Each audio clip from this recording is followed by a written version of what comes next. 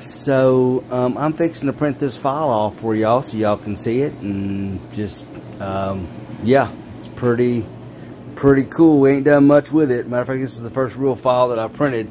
So this is a file that I'm doing right here. This is a slicing program or a laser cutting program like you have you know Cura for 3D printers to slice the model up. Well you've got a laser a burning software that um, uh, you know programs the thing to to print it. So um, yeah, just thought I'd show this to you and thought it'd be pretty cool.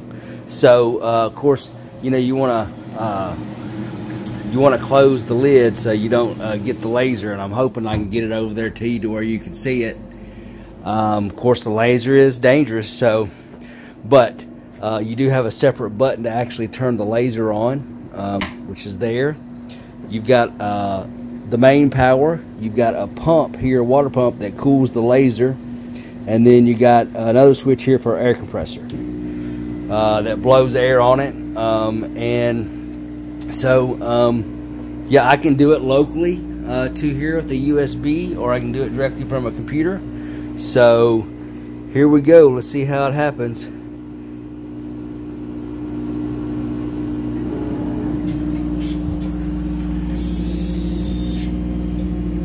That is cutting it right now.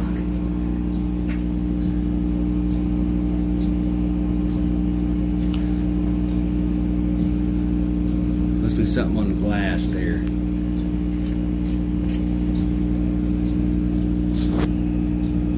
So it's just doing this little image on the glass. Um, of course, it's uh, uh, burning um, and now I guess I need to open up the thing because it is uh,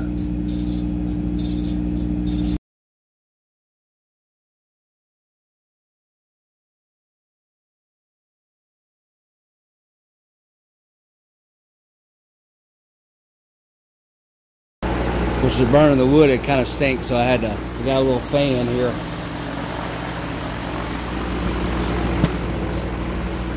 Of course, there's a little fan inside here that pulls the air out of it uh, and then blows it out through this little exhaust down here. So I got the exhaust coming out, blowing it out right over there. Uh, my water bucket, distilled water, cycles uh, water to keep the laser cool, and then a little air compressor that pushes air out the bottom of it. Um,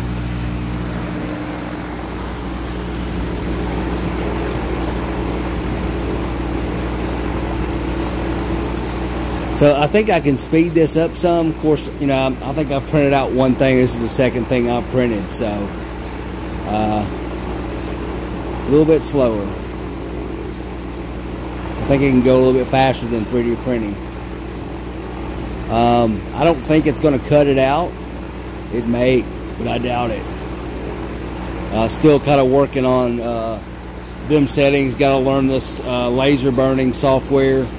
Um, there's different um, there's different laser power that you can turn it. Like right now, uh, this is printing at 20% um, laser power, and then um, the outside edges are printing at or cutting. Supposed to cut. It's not going to cut it though, but it's at 60%, uh, which is about the max they say to go um, because the harder you run the laser the um, uh, the faster the laser will go out. So that's sort of like a you know filament.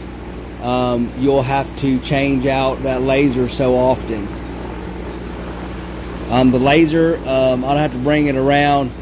Um, it's a big laser tube across the back. I'll show it to you. Set this down here.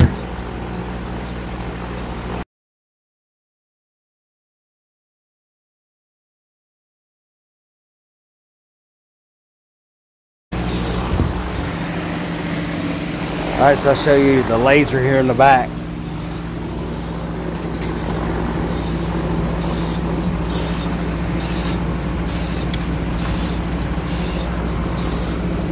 That is the laser. See, it's shooting the laser out the back. That is crazy. That is crazy. Look at it. That looks like something from sci-fi movie.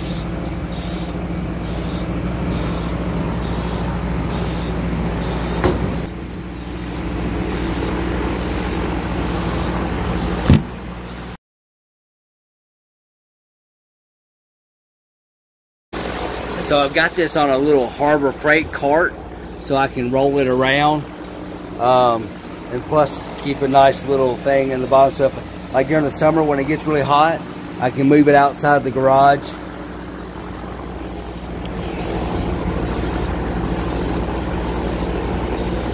this is awesome.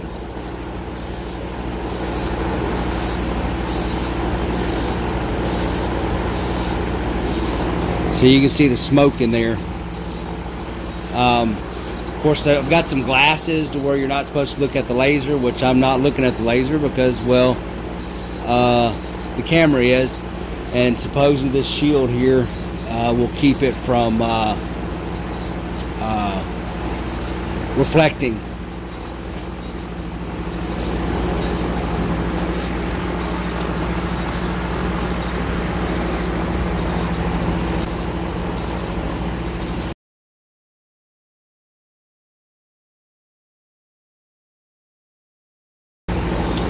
So I'm just kind of wondering if it's going to uh, cut it out around the side. I doubt it though, but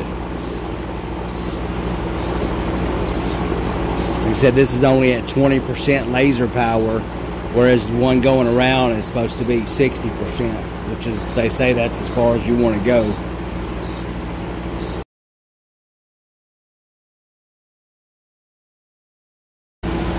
It's getting close, it's almost done, so it kind of traces it out on here, well, it's not really not like normal.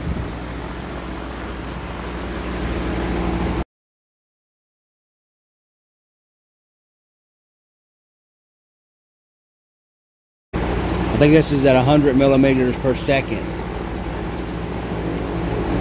Which, you know, uh, on the 3D printing, we're normally doing about 60 to 90 millimeters per second. Uh, of course, that's doing multiple layers. So this image right here is just something I picked off of Google, um, uh, just a Google search for pictures. I don't remember why I got this image, um, but uh, and then I just imported in this laser program, and then uh, you can split apart the image depending on how kind of laser uh, power you want. Of course, I haven't learned any of that stuff yet.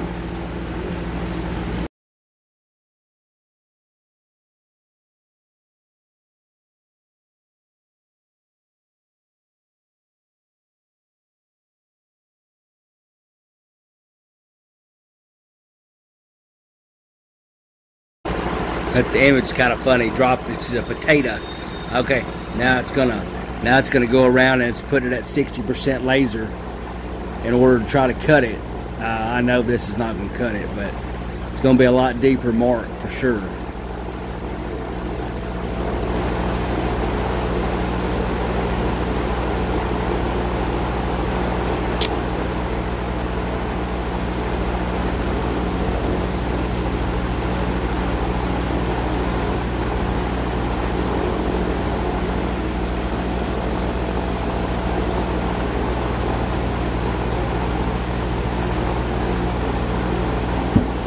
Looks like it's going around uh,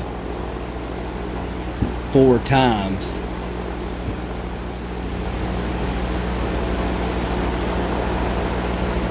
It may have cut it.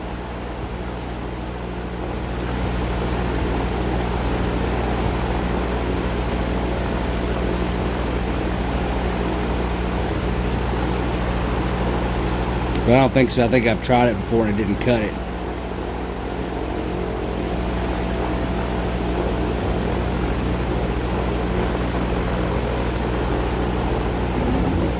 All right, so that finished up. So the first thing you want to do is you want to turn off the laser itself first. That way it can't accidentally fire. So once I turn this switch off, that will stop the laser from coming on. Um, just raise her up here. And there it is. Um, now I didn't cut it all the way through. went through, it, it did seem to push it through. Got that little dark there. Oh, it actually did almost cut it through. Huh. Well, I'll see if I can't push it out and get the rest of it out, but there you go. Laser engraver. Drop it like it's hot.